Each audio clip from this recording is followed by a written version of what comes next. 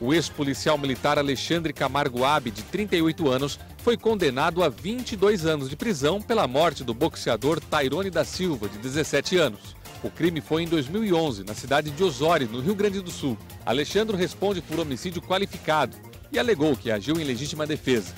A defesa recorreu da decisão e o SPM permanece em liberdade.